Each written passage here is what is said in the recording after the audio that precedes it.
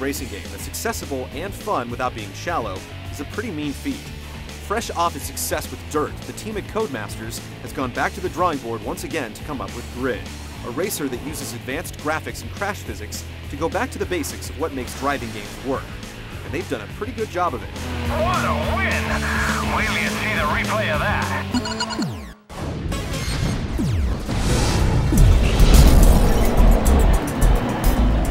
Grid has positioned itself with the phrase, it's all about the race. Basically promising great gameplay, but also signaling up front that some areas have been ignored for the sake of others. So one thing the game is not about is offering a huge amount of cars. If you're a closet collector reared on Gran Turismo, the list is gonna seem a little small with just 45 different vehicles. Likewise, there isn't much emphasis on customization. You can choose a pattern and a three-color palette for looks, All we need now are team colors. But you can't tune your car's performance. Our mechanics restored the Mustang back to mint condition. It's ready to race. This may not make everyone happy, but making compromises doesn't necessarily mean topping out. Cars are split up into different disciplines and then further broken down into individual models. From drift racing to open wheel, each class has a distinctive feel with noticeable differences between each car within a class. Each event type is accessible immediately in race day mode, while the career option puts you in charge of your own team while working as a hired gun. The objective is to build your reputation in the US, Japan, and Europe, each with multiple tiers. Expect to flex some serious muscle in America and do your fair share of drifting in Japan. Spectacular drifting! You don't necessarily have to finish first, or even place in every event. Nice driving. Now kick it up a notch. But finishing races in the career mode earns you the respect to move up in stature and the money you'll need to buy new vehicles. Great win! You're filling our coffers. Competing under tougher settings can net you greater rewards, encouraging you to tweak your difficulty from race to race to manage your level of challenge. Along with AI and driver assists, there's one more crucial component to difficulty the game's flashback system. Essentially, this feature lets you rewind time, take a look at what went wrong, and jump back into the cockpit at any point to avoid a nasty crash or even take a turn a little tighter to ensure you stay at the front of the pack. Lower difficulty settings let you turn back the clock multiple times, while Pro Mode cuts the fantasy feature altogether. When you head online, a lot of the single player elements follow. Races feature 12 cars apiece and full on damage, though you can turn it off if you want. Events are on the slim side with just a few different options, and you'll have to race in the pro difficulty mode if you want to post your times to online leaderboards, meaning flashbacks are rightly ignored in favor of consistency and skill. Don't expect to get 100 hours of play out of a single player, but in conjunction with the online play, you still get plenty of mileage for your cash.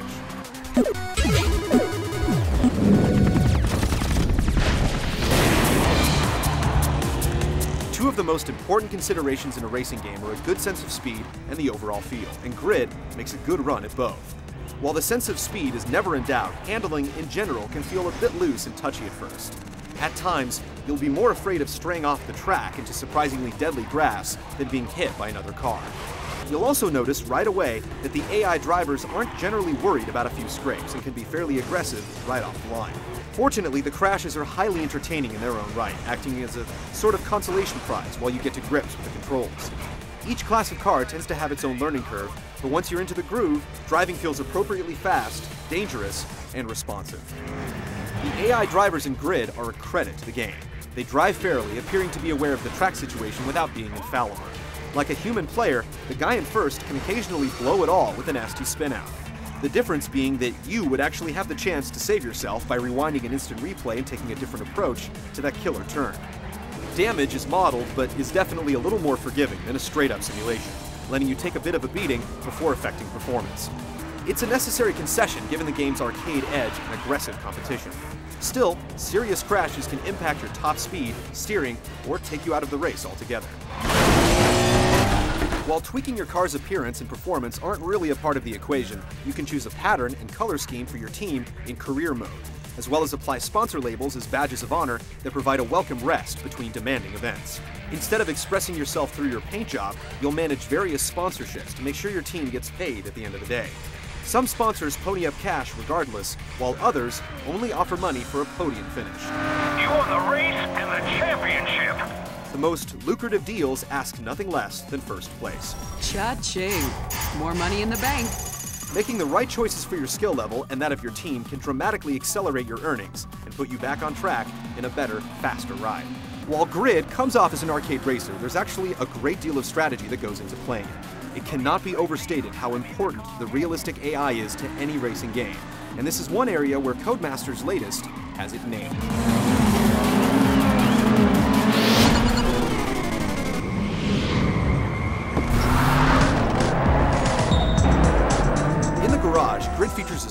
Simple interface you feel like you can almost reach out and touch.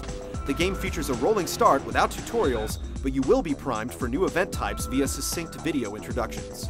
Executing drifts will reward you with points for speed, angle, and duration.